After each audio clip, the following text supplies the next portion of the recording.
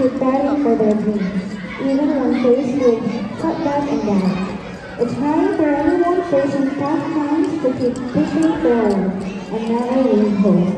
They dedicated the song to show that they can make a big difference in the world. Once again, second grade students, we present pride song. Give them a round of applause, please.